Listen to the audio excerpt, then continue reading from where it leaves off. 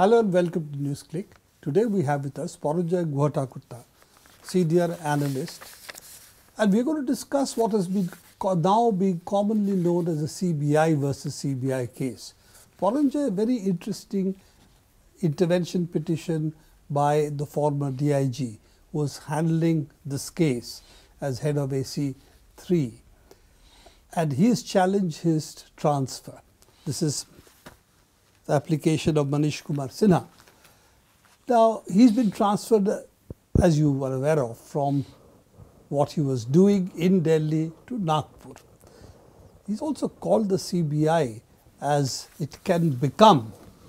What is it, the exact words he has to use? CBI equals Center for Bogus Investigation. Investigation. and Enforcement Directorate becomes Extortion Extortion Directorate. It's amazing. This is from the a serving office IPS officer who is DIG. That's correct. Okay, so this is not something which the opposition is raising or people like you and me. Okay, let me fill you in a little bit about Manish Kumar Sinha. And this is, mind you, in an affidavit given in the Supreme Court of India. The Supreme Court of India has yet not heard the affidavit on its merits, but the affidavit is in the public domain.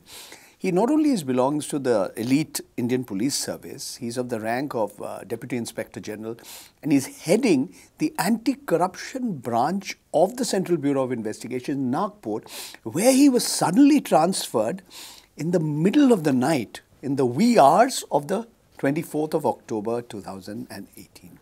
Now, in the headquarters, he was also heading the anti corruption branch. And he was handling a number of sensitive cases, including the Nirav Modi, Mehul Choksi, Punjab National Bank scandal. And what is very, very interesting is that he has got many medals, police medals, this and that. He was transferred together with Mr.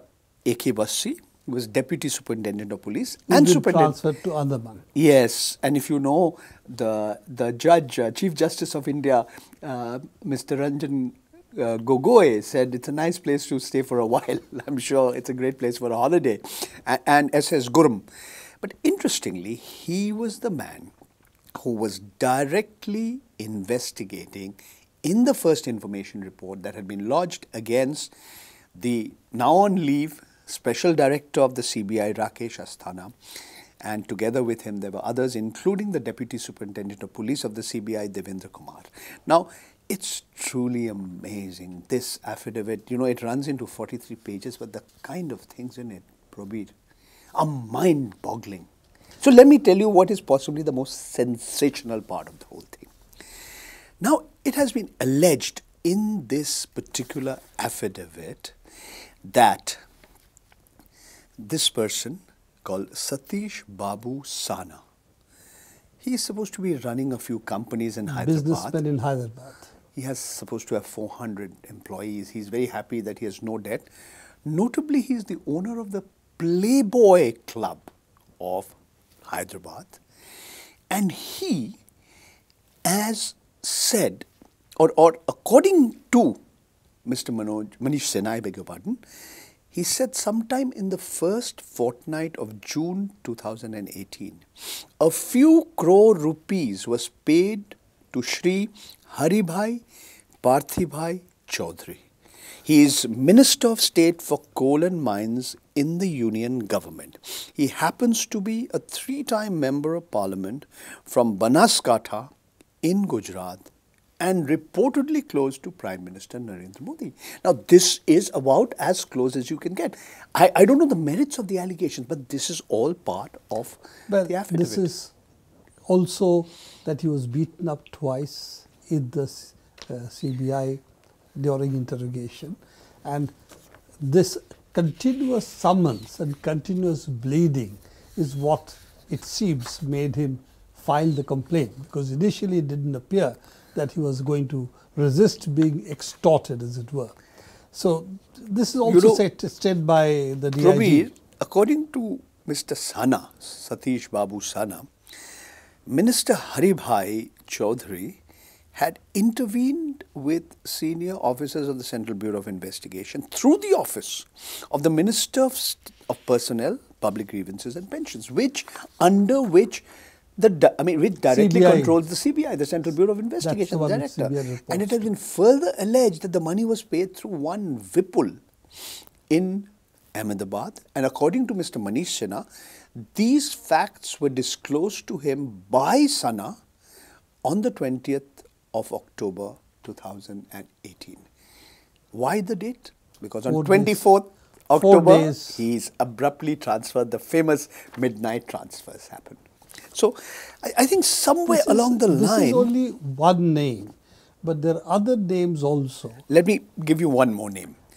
According to the affidavit of Mr. Manish Kumar Sinha, dis- discreet inquiries were con- conducted, and one of the sources claimed that in June, in, in the first fortnight of June, there was a talk between K. Lakshma Reddy. He's a member of the Legislative Assembly of Telangana from Medjal.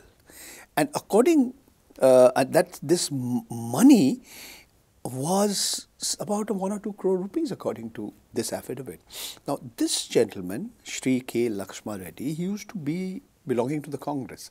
But he switched sides and he's, he's the ruling party. He's with the Telangana Rashtra Samiti. He happens to be the health minister of Telangana at this particular point of time. He was earlier energy minister. So the story is getting murkier and murkier. There's also a CVC connection here. Correct. And according to Mr. Sana, as per this affidavit, he met the Central Vigilance Commissioner, K.V. Chaudhary, together with one of his purportedly a close relative of his, one Gorantla Ramesh, and who's supposed to be the owner of Delhi Public School in Hyderabad. And uh, they were supposedly discussing the Moin Qureshi case. And here, This is with the CVC. CVC and Mr. Manish uh, Sinha here quickly adds here that there was a question of some land being sold, some money going, and he said that look, I mean, there's uh, nothing wrong. I mean, he said there's nothing wrong uh, for a CBI officer to meet the Central Vigilance Commissioner, but he's saying, but he's just putting on record these facts. But probably there's much more to it. Yes. We have Mr. Doval's name also cropping up here. No, absolutely correct. Mr. Doval's name figures on two separate episodes in this particular affidavit. The first time is when Manoj Prasad, who is one of these informants, who is one of these business persons based in Dubai, when he was interrogated in the CBI headquarters, he bragged. He bragged that you can't touch me. I'll finish you off. I'll kick you out. These are the words. You'll be kicked out. You'll be finished off. Why? Because he was bragging about his close connections with Mr. Samant Goel, who is a special secretary of the Research and Analysis Wing in the Cabinet Secretary, uh, Cabinet Secretariat. And it's further alleged that he is very close to the National Security Advisor, Mr. A.K. Doval, Ajit Doval. Now, what is even more amazing, he talks about a personal favor. But then I'm, I'm a little fuzzy, I can't figure out. Do you know what he says? He said there were these elections happening. There are two separate things. One the personal favor, and the other is the election to the uh, delegate to the Interpol. Now, Interpol. interestingly, again, we have some very, very interesting characters coming in. One of them is the Joint Director of the Central Bureau of Investigation Policy, Mr. Arun Kumar Sharma. He is again allegedly close to Prime Minister Narendra Modi. Now, he is also handling very, very sensitive cases, including the Mehul Choksi, the, the Nirav Modi case. Earlier, he had, had handled the Ishrat Jahan alleged encounter case, and that's not all. Now, he, it has he said that he's apparently diluted that lookout notice against Vijay Mallya. All these allegations are in the public domain. Now, what happens is apparently Mr. A.K. Sharma's trip, who was supposed to go abroad, is suddenly cancelled. And, and these elections are supposed to be taking place now, but his trip has been suddenly cancelled. And the plot gets thicker and it goes on and on and on. This person, Manoj Prasad, he alleges that he met, according to Sana, Manoj Prasad met Nitin Sandesara of the Sterling Biotech Which is where 30,000 crores have been apparently siphoned Who off. knows how much money and, where? And uh, the, the owners are abroad, Absolutely. following in the footsteps of Mr. Mallya and Mehul Choksi. and and Mr. Lalit Modi and Mr. Jatin Mehta, just to mention a few names. Few more. Okay. Now, Manoj Prasad apparently from the office, from the CBI headquarters, spoke to his brother, Somesh Prasad. And, and these are the same people whose father retired as a joint secretary in the research and analysis wing. And his name, their father-in-law's name, all of them names figure. And, and it's truly amazing. Those names have been coming out for some time, Correct. including Samant Goel's name, who are again very close to. Now- they claim Manoj Prasad and Somesh Prasad are close to Samant. And there is one other place where the National Security Advisor Ajit Doval's name crops up Second in this time. affidavit for the second time. This is concerning Devinder Kumar, who is a Deputy Superintendent of Police in the Central Bureau of Investigation. Now, it was alleged that he was somehow trying to fix the whole Mo- Moin Qureshi case. And he reportedly was part of the team where Mr. Rakesh Asthana, the special director now on leave, was there. And it has, it has been alleged that he made a false statement and had actually been arrested. Now remember, this is a, a CBI officer.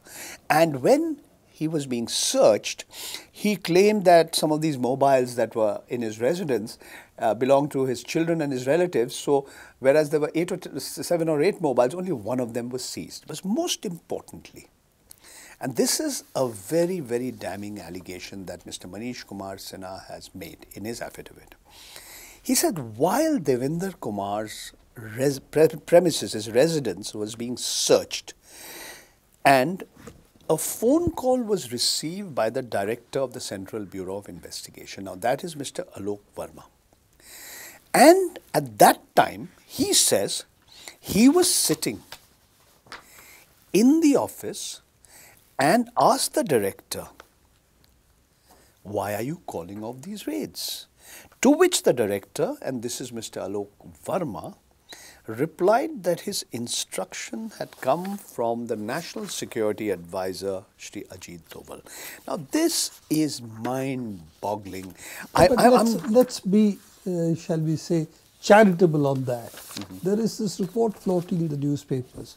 Somesh Prasad, Manoj Prasad were actually working at the behest of uh, NSA and RAW. and they were operatives. Their operatives, therefore, they had sensitive information.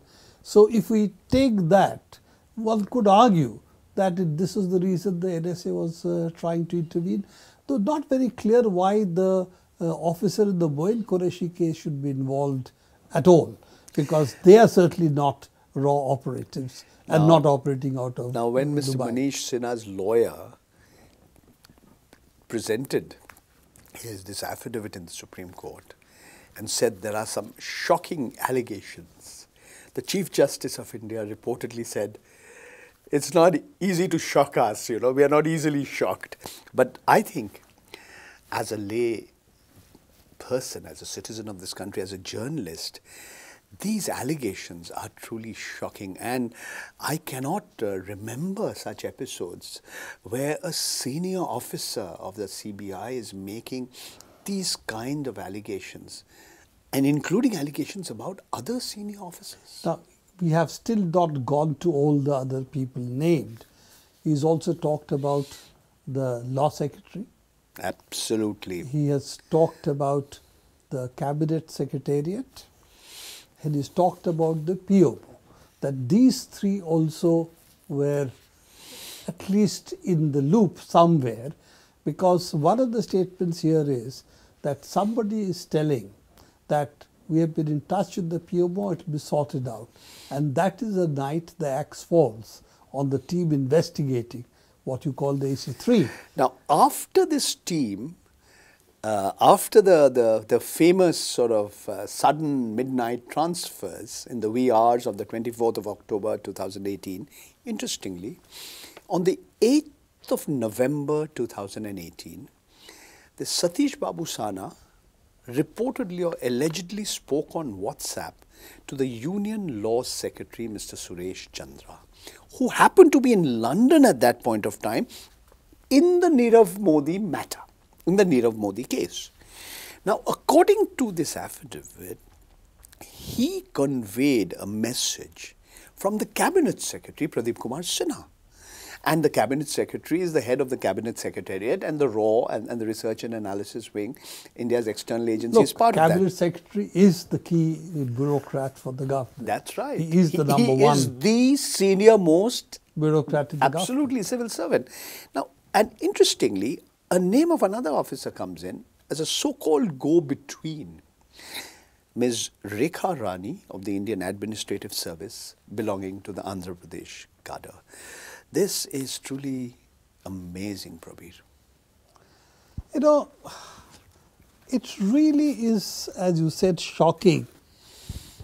But it is also surprising the ineptness of all of this because it does appear that if the government does not have egg on its face and if the Supreme Court does not step in to such serious allegations, we are looking at really the subversion of the entire system of governance in the country.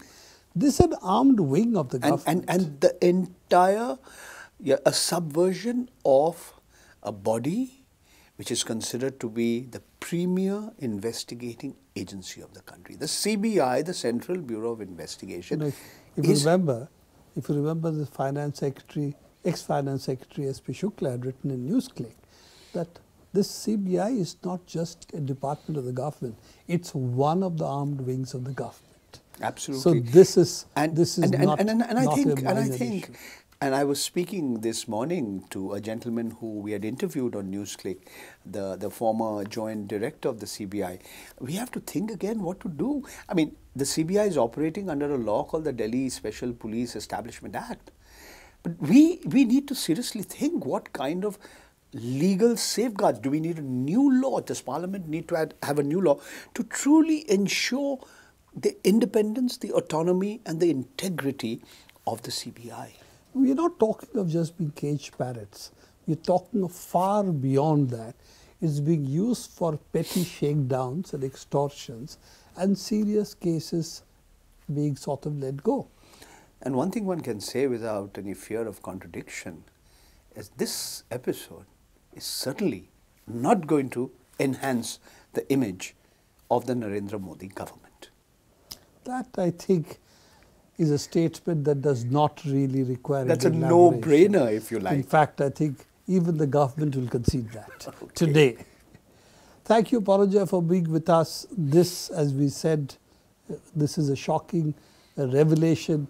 If even half of what the DIG, the form, the he's not a former DIG. No, he's a serving DIG, Deputy Inspector General. Serving Dep- Deputy Inspector General of Police has said a serving officer never comes out with this kind of allegations.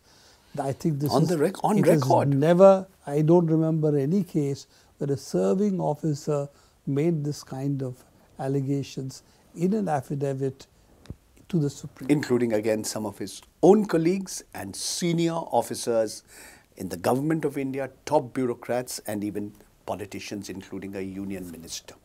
Thank you, Paranjoy. We will be closely monitoring what's happening, as I guess is rest of the country. And I hope the Supreme Court will also monitor it and, uh, the way this needs to be unraveled. This is all the time we have for NewsClick today. Do keep watching NewsClick and we'll be following up these reports.